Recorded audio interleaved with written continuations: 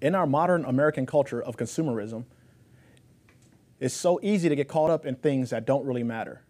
Case in point, when you got your first full time job, there were probably a lot of must haves that were bought cars, TVs, clothes, shoes, and so on.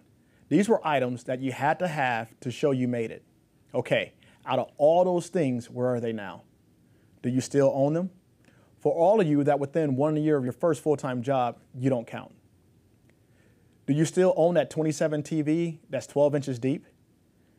When you run, do you still use a Discman with anti-skip? Who has a first gen iPhone? When we saw those things, we had to have them right now. They were the greatest, but these things are all temporary. There will always be something better than what we have next year, and what we own will not cost the same as when we bought it. When you become a Christian, you are called to invest in something greater than right now. You are called to invest in your eternal home in heaven. Matthew 6:19 through 20. Do not store up for yourselves treasures on earth, where moth and vermin destroy, and where the thieves break in and steal. But store up for yourselves treasures in, he- in heaven, where moth and vermin do not destroy, and where the thieves do not break in and steal.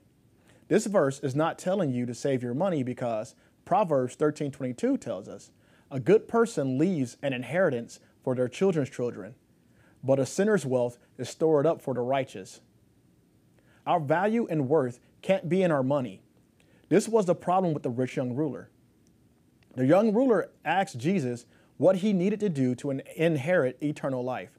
When Jesus told him, the young ruler replied, I have done those things since I was a boy. And this is what happened next. In Mark 10 21 through 22, Jesus looked, him, looked at him and loved him. One thing you lack, he said, go sell everything you have and give it to the poor, and you will have treasures in heaven. Then come follow me. At this, the young man's face fell. He went, he went away sad because he had great wealth. As you read about Jesus, you will see that he is always challenging someone's heart when they ask him to follow him. Jesus does not care if you are rich or poor. Money meant nothing to him. But the young ruler did care, and his money meant more than Jesus. We have to trust and have faith in God that He will provide for us more than if we rely on ourselves. Hebrews 11 6, and without faith, it is impossible to please God, because anyone who comes to Him must believe that He exists, and that He rewards those who earnestly seek Him. To live eternally, we have to seek God like we would our fantasy sports team. What I mean is, we have to spend time in the Bible like we would looking up stats for a player we would draft to our team. We need to transfer the dedication it takes to beat a modern video game to spending time in prayer. We get so good at crushing things that don't matter after we are gone that we lose sight on things that will matter in heaven. I'm a huge CrossFit junkie. I love how, when properly put together, the exercises painfully complement each other. I love suffering with other people as we work out. I love how I'm able to pick up heavier and heavier things. This may sound a little narcissistic, but I really like how I look in the mirror when I manage to make my diet match my workouts. And I see good results. But Paul reminds me of this in 1 Timothy 4 8 For physical training is of some value, but godliness has value for all things, holding promise for both the present life and the life to come. What am I really working for if all I do is spend time in the gym? And not in the Word. I need to be as diligent in preparing my spiritual body as my physical body. 1 Corinthians 9 24 through 25. Do you not know that in a race all the runners run, but only one gets the prize? Run in such a way to get the prize. Everyone who competes in the game goes to strict training. They do it to get a crown that will not last, but we do it to get a crown that will last forever. How we live our lives is a big deal. We can't take what Jesus did for us for granted. In America, I feel that the devil has it easy. There are so many things he can use to take our eyes off the final prize. Remember, it does not matter how big our house is because our house in God's kingdom will be more than enough. Our worth is not in how much we make because in God's kingdom, the streets will be made of gold. Our job does not define us, it's what we do, not who we are. What defines us is our Lord Jesus Christ, and we want to be the best representatives we can and bring honor and glory to his name. These last 23 teachings have been about living eternally. Week after week, we have seen how God will have us change our way of thinking to begin living for him.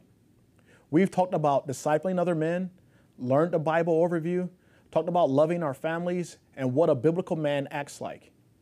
If anything from these teachings stick out to you, that's where you start. That's where God is calling you to live eternally. Allowing God to speak into your life and change your heart is the first step in living eternally. Faith in something you can't see, showing God showing those around you that God can in fact change your heart. That you are investing in something greater than right now. And ultimately, living eternally means that you fully accept your responsibility to the Great Commission. So, as you live, you teach. And as you teach, you live. And when you do this alongside other men, you begin to form a culture of disciples who are all on mission to live eternally and to carry the good news with them everywhere they go. Proverbs 27 17. As iron sharpens iron, so one person sharpens another. Before I sign off, I would like to talk to those of you being discipled and to those, to those of you watching this by yourselves. You will never feel qualified or have all the answers or be smart enough on your own to disciple someone. If I relied on just myself, none of the teachings I've done, let alone this whole project, would not have gotten done, not without God's hand. So you will have to pray and trust in God to guide you along the way. Just make time to read the Bible. It might just be a verse or a chapter, but stay in the Word.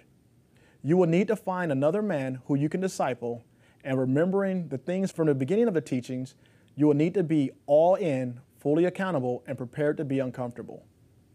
And you will also need to find another man who can disciple you.